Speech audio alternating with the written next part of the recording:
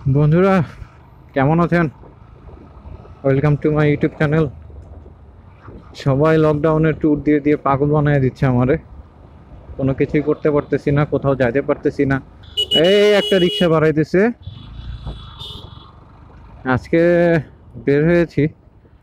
কোথায় যাব বলতে পারব না। বাট ইচ্ছা আছে যমুনা সেতু পার হওয়ার। আমার সাথে বেশ কয়েকজনই আছে, তাদেরও চড়ি উঠেছে বাইক চালাবে লকডাউনে আমি তো এমনি প্রতিদিন বাইক চালাই।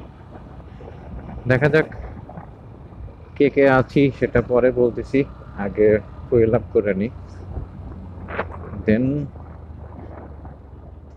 যাচ্ছি।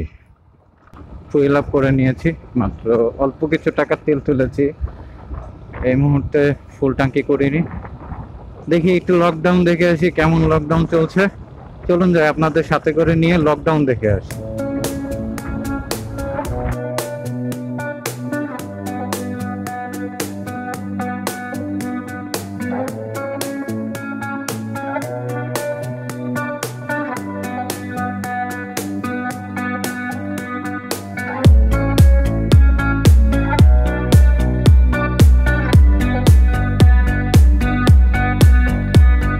এলেঙ্গার মোড়ে চলে আসছি।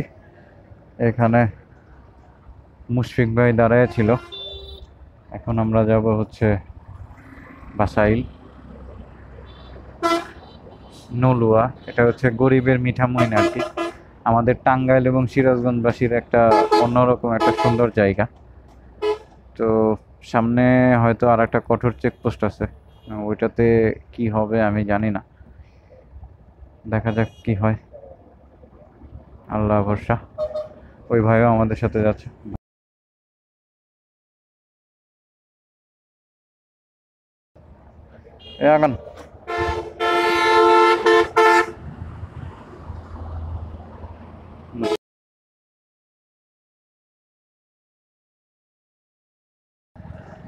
তো চলুন বন্ধুরা, আমরা টুকটুক করে আগাই। লকডাউন দেখতে এসে মনে হচ্ছে যে অফিসিয়াল ডেতে আসছি আর কি, এই যা। তফাৎটা শুধু হচ্ছে অফিসিয়ালি সব কিছু ক্লোজ আর আনঅফিসিয়ালি সব কিছু ওপেন অর্থাৎ এটা ওয়ান কাইন্ড অফ বাংলাদেশে মদের ব্যবসার মতো। মানে এরকম করে টাকা দিব, কে? ভাই, একটা উইস্কি দিয়েন। সাথে সাথে দিয়ে দিবে। আপনাকে শাটারটা টুম করে খুলবে টুম করে নামে দিয়ে দিবে বাস শেষ। ফুরিয়ে গেল, হয়ে গেল ফিনিশ চলুন, বন্ধুরা যাই।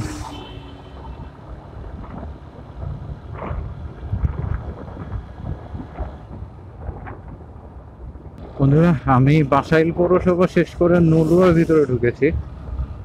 দেখেছেন আপনারা? মানে পানি। এটা হচ্ছে আমাদের গরিবের আর কি মিঠা মহিন আর কি। পুরো দুই পাশে হচ্ছে পানি। আর এটা একটা বিনোদন কেন্দ্র। এখানে টাঙ্গাইলের এটা অনেক পুরাতন একটা জায়গা। এখানে অনেক লোকই আসে, মজা করে, নৌকা নিয়ে ঘুরে। তো এই তো, এটাই হচ্ছে সে জায়গা। এখন আমরা এখানে একটু মজা করি। লাভ হলো না, আসলাম, পুলিশ আসলো। এখন রওনা হচ্ছি। চিন্তা করেছিলাম এখানে নৌকা নিয়ে ঘুরবো, বাট হলো না। এখন চলে যাচ্ছি।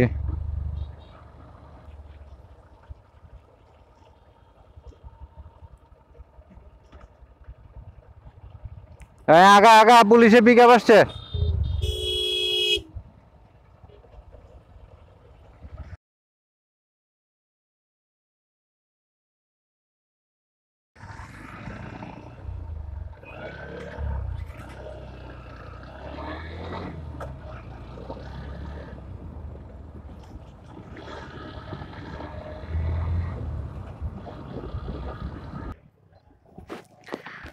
অবশেষে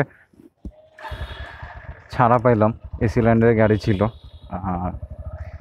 আমরা ইনলিগালি আসছিলাম, এটা ঠিক আছে বাট আনফর্চুনেটলি ধরা খেয়ে গেছিলাম। বাট মোটামুটি বাইক প্রতি পাঁচশো টাকা করে জরিমানা দিয়েছে। আমি কোনো রকমে ঘুরে যাইতে পারছিলাম, যার কারণে আমি কেসটা খাইনি। এটা কোনো গর্বের বিষয় না বাট শিক্ষা হলো আলহামদুলিল্লাহ নেক্সটে করোনার ভিতরে আর বেরোচ্ছি না ভাইয়া। আর যাই কিছু বলো না কেন। একবার দাবার খেয়েছি। এখন যাব চলে যাচ্ছি। সিরাজগঞ্জের উদ্দেশ্যে চলে যাচ্ছি। যেটা চেয়েছিলাম মনে করেছিলাম একটু আহ, ইয়া করব। নৌকা নিয়ে ঘুরবো বাট সেটা সম্ভব হয়নি। চলুন যাই সামনে যাই।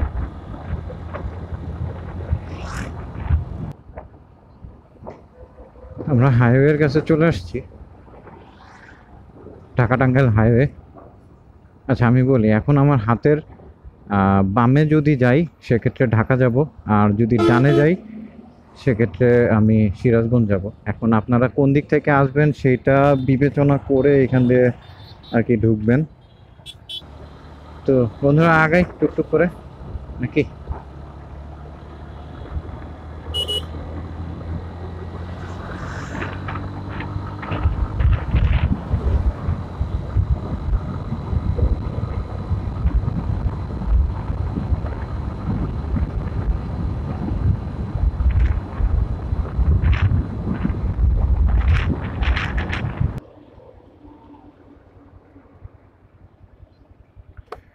যমুনা সেতুতে উঠে গেছি।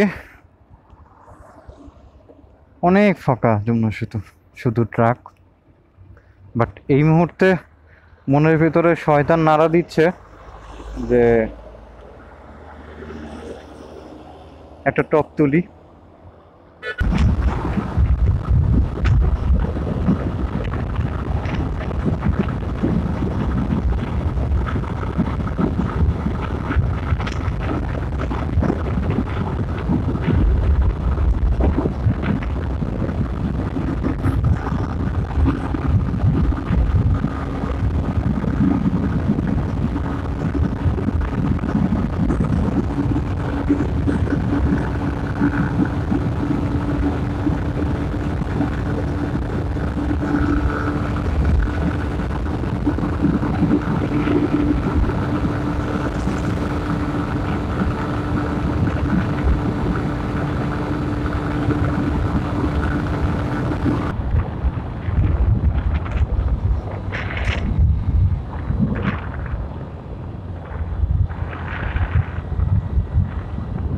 শয়তান শয়তান ঠিকই আমাকে নাড়া দিয়েছিল। যাক আল্লাহ না করুক, কোনো দুর্ঘটনা সম্মুখীন হয়নি। আল্লাহ বাঁচিয়ে দিয়েছে। আর রাস্তা এমনিতেও তখন ফাঁকা ছিল। যাই আপনারা যখন ট্রাই করবেন, অবশ্যই। আর আমি যদি বলি যে, আপনারা ট্রাই করবেন না তাহলে আপনারা মনে মনে আমাকে বলবেন যে, কেন ভাই আপনি তুলছেন, আমরা তুলতে সমস্যা কোথায়? সো এই কথা আমি বলব না। আমি শুনতেও চাই না। বেটার হচ্ছে আপনারা যখন তুলবেন, একটু দেখে শুনে তুলবেন। আর অবশ্যই অবশ্যই হ্যান্ডেলটাকে খুব শক্ত করে ধরে তারপর লিন হয়েন। কারণ হচ্ছে হ্যান্ডেল যদি একটু মিস করে, তাহলে কিন্তু সারে সর্বনাশ ভাই। সো বি কেয়ারফুল ভালো থাকবেন সবাই। আশা করি। আর অবশ্যই অবশ্যই আবার বলি, আমার ব্লগটাকে শেয়ার দিবেন। ভালো লাগলে লাইক করবেন কমেন্ট করবেন। আর যদি পছন্দ হয়, সেক্ষেত্রে একটু সাবস্ক্রাইব করে রাখবেন। কারণ আপনারা সাবস্ক্রাইব না করলে আমার মন ভরে না। তো আজকের মতো ব্লগটা এখানে শেষ করছি। আল্লাহ হাফেজ।